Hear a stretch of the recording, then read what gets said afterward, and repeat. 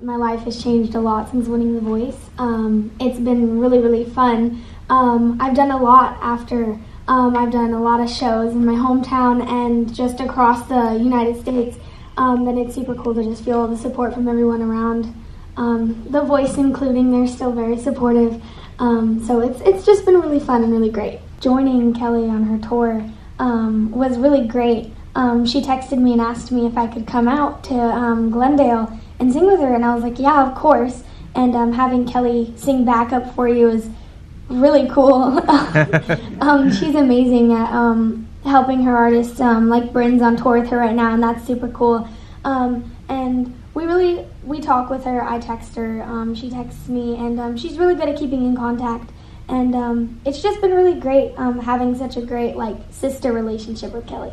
I haven't started writing my own stuff yet. Um, I'm hoping to do that really soon, but um, Kelly's going to help me and we're going to talk to some writers and um, hopefully put something out really soon. Um, I'm not too sure where I'm at with that yet because Kelly's on tour and um, she's really busy, but um, we're going to start really soon, hopefully.